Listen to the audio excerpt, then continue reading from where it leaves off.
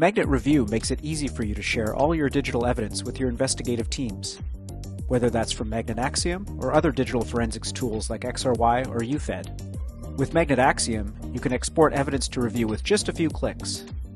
You can choose which evidence items you'd like to share from the full list of artifacts recovered in your case file across all your evidence sources, including mobile devices, computers, vehicles, and the cloud.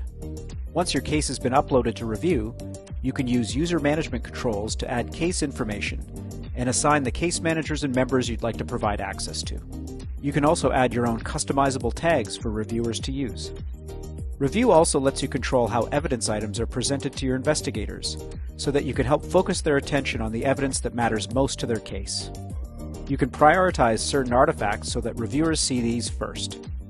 You can also configure how the metadata associated with each artifact type is arranged in column view so that the most important information is front and center. Collaborate on digital evidence review from anywhere with Magnet Review.